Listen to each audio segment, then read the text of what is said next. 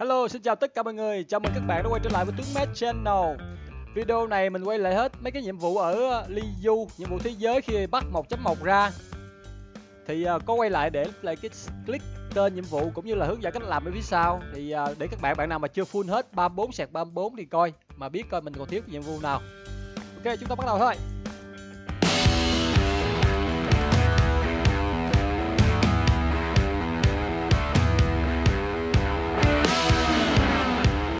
Rồi đầu tiên đây là list danh sách tất cả các nhiệm vụ nó ra từ cái bảng à, 1.1 Tổng cộng là có 7 cái theo mình điếm Thì tất cả nhiệm vụ hầu hết là nằm ở thành cái cảng Ly Du Chỉ riêng cái nhiệm vụ um, Có một nhiệm vụ ở nhà chọn vọng thư Đó là nhiệm vụ nhà thơ gì đó.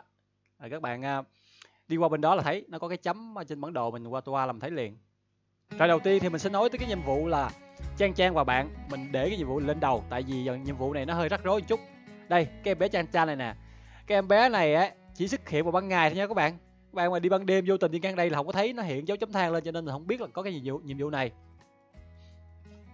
Rồi thì sau khi biết được à, trang trang ở đây mình nhận nhiệm vụ thì nó cũng coi như đã xong rồi đó. Tại cái game nó đặc biệt là sao nên không hiểu.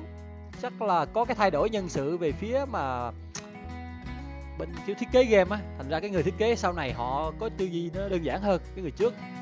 Người trước thì cố tạo theo cái hướng của game nhật bản hắc não đấu trí còn những cái game cái người ờ, sau này làm thì họ thiên về game Trung Quốc truyền thống hơn tức là chỉ chạy gặp NPC là xong nhiệm vụ. Cái việc uh, cần thiết là bạn chỉ cần biết cái nhiệm vụ đó có tồn tại thôi bạn biết bạn nhận là coi như xong. Coi như là những nhiệm vụ này bạn chỉ cần biết cái tên thôi thành ra mình để cái slit các bạn coi cái slit là các bạn xong. Theo mình thấy thì chỉ có cái nhiệm vụ trang trang này thì hơi phức tạp chút là chỗ uh, phải gặp trang trang mỗi ngày thôi nhiệm vụ sau thì nó đơn giản hơn. Đây nhiệm vụ thứ hai là nhiệm vụ uh, nhà thơ ở ờ, nhà trọ bông thư. Thư tặng thành này. Các bạn bay qua nhà trọ bông thư. Bạn thấy nó nó hiện cái dấu chấm than trên bản đồ. Mình vừa tới điểm dịch chuyển là thấy liền không cần phải kiếm đâu xa. Rồi cái nhiệm vụ này thì anh nhà thơ á, đang bị bí cảm hứng làm thơ nên yêu cầu mình đi, uh, đi kiểu như đi quan sát nhân tình thế thái. Để cho anh có về anh có cảm hứng cái mình phải đi tới ba cái điểm. Đầu tiên là mình đi tới cái điểm cho chó chó ăn. Rồi tới ngọc kinh đài. Cái chỗ ngọc kinh đài này thì uh, mình phải lên cái núi bay xuống tại mình đi đường dưới đi lên lâu lắm phải leo mấy cái tường rất là cực. Này ba điểm.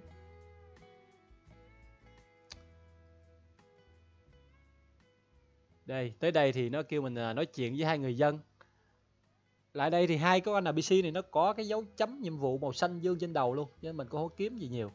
Đi là thấy nó liền đó, thấy không? Bà già. À. những người già này cảm thấy nhân tình thế thái trôi qua quá nhanh, thấy không? Kiểu như là thấy cục thấy thời gian quá lẹ đi. Cuối cùng bạn à, thấy được à, hiểu được hết sự tình rồi đem về kể cho thằng nhà thơ để nó có ý tưởng là bài mới. Rồi xong. À, xong hai cái nhiệm vụ rồi. Nhiệm vụ thứ nhất là trang trang và bạn cái thứ hai là bên nhà trọ ung thư. Còn năm nhiệm vụ còn lại thì nó vòng vòng ở trong cảng ly du này thôi nha các bạn. Rồi mình chỉ đi vòng vòng là mình thấy mấy cái chấm chấm than trên bản đồ nè bản đồ mini đó thấy chưa? Rồi. Rồi cứ đi uh, đi dạo một vòng là bạn lấy đủ năm cái nhiệm vụ này thôi. Nó gần như hết. Cái khu quảng trường nè. Làm hết mới này nó cũng cho nhiều ẹp á à, cũng khá nhiều á ngàn mấy á rồi đồ mình không nhớ cũng khá là nhiều mua ra sách các kiểu ok phần sau thì không còn hướng dẫn gì nhiều nhưng mà mình vẫn quay cho các bạn nào cần thì xem giải trí là thôi đây Ok, video của mình ở đây là kết thúc. Nếu các bạn thấy clip này hay và hữu ích, đừng quên nhấn like, subscribe, chia sẻ nói với bạn bè của mình, đăng ký kênh, nhấn vào quả chuông nhỏ nhỏ bên dưới để không bỏ lỡ những thông tin mới nhất từ Tướng Mát Channel nhé. Các bạn em, Tướng Mát xin chào.